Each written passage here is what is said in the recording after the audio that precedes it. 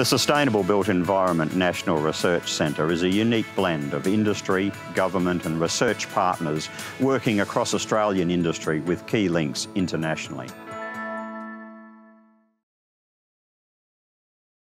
I'm Davina Rooney, the CEO of the Green Building Council of Australia, and it's such a privilege to partner on the Sustainable Procurement Project.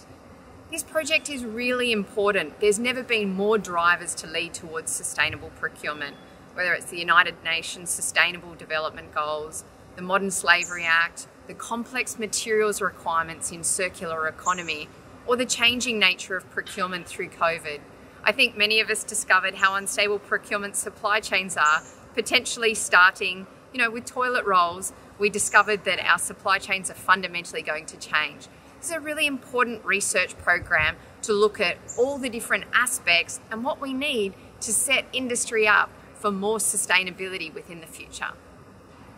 Driven by industry's desire to modify behaviors that contribute to unsustainable practices, the Sustainable Procurement Project focuses on the finding the practical ways to improve the environmental, social, and economic sustainability outcomes in the housing, building, and infrastructure sectors in Australia. We conducted focus group discussions with the Commonwealth government, state governments, private organizations, and the industry associations to explore the value of sustainable procurement, the stakeholders' role in transforming industry practices, and the COVID-19 impact on sustainable procurement. A framework for enabling sustainable procurement was proposed to help public and private organizations to gain an understanding of the holistic picture of sustainable procurement and align their culture, behavior, organization, and processes to sustainable procurement principles. Case studies in selected sustainability themes such as the green concrete, recycled contents, modern slavery act, regional participation and marginalized groups were conducted to demonstrate the application of the proposed sustainable procurement framework and identify recommendations. This project will support more informed decision-making in procuring products and services that are recycled, low carbon, low pollutant, ethically sourced and which deliver improved social outcomes and also assist in identifying value for money and a more efficient use of public resources. With the disruption of COVID-19, more than ever, businesses are looking through their supply chains to ensure they remain resilient. And this includes being environmentally and socially progressive. As a vertically integrated company, from the quarry through to the construction, BGC largely procures from itself, but we're very mindful that the value we create for our customers leaves behind a footprint that we can continuously improve. One of our targets is to produce greener concrete and concrete products. Three quarters of our concrete batch plants now have these reclaimers which separate the sand and the aggregate from return concrete from construction sites so it can be reused back into the production process. So is the water. And the cementitious slurry left behind well, we turn that into concrete backing blocks.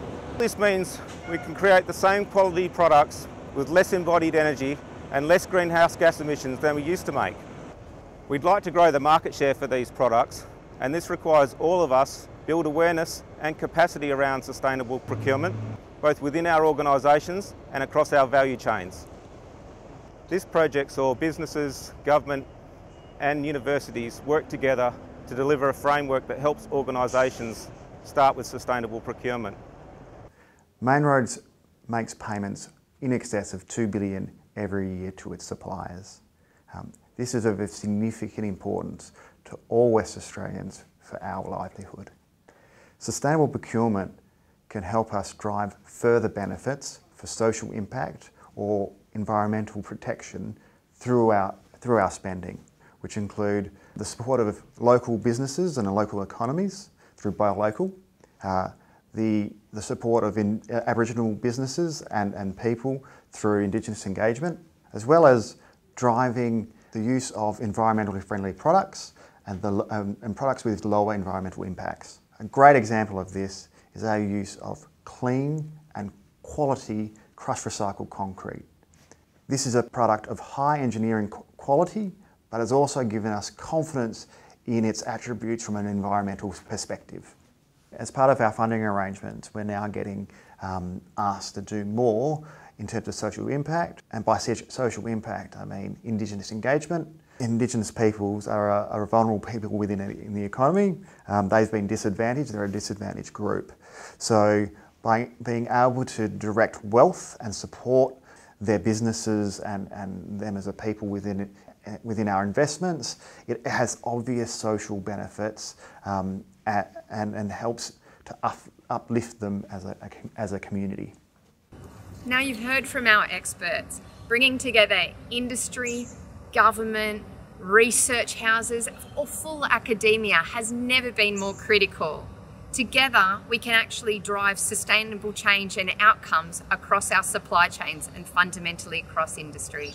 I really look forward to sharing more of the outcomes for this project with you.